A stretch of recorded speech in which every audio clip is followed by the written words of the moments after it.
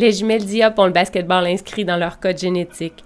En plus du plaisir qu'elles ont à pratiquer ce sport, elles se classent parmi les bonnes joueuses du circuit provincial. Bien, en fait, c'est juste parce que ça fait longtemps qu'on joue ensemble. On, se, on, se, connaît un peu, puis des fois, on fait juste se regarder, puis on sait que oh, elle, va monter, puis je peux lui faire une passe là, tout. Fait on a une chimie quand même. On sait pas mal ce que l'autre va faire. Puis, euh...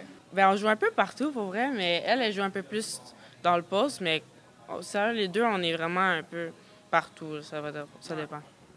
Fait que moi, je joue plus dans la clé, elle, elle joue plus à l'extérieur. Elle est plus rapide. Moi, euh, je suis plus euh, finition. moi, mon plus beau souvenir, c'est euh, pas cet été, l'autre d'avant, où on a remporté le championnat canadien avec l'équipe du Québec. Fait que, Moi, je dirais que ben, nos, nos, meilleurs souvenirs, je trouve, c'est le fun, les provinciaux. On a fait déjà l'an passé. Ben, on a fini deuxième, mais juste l'expérience des provinciaux, c'était vraiment le fun.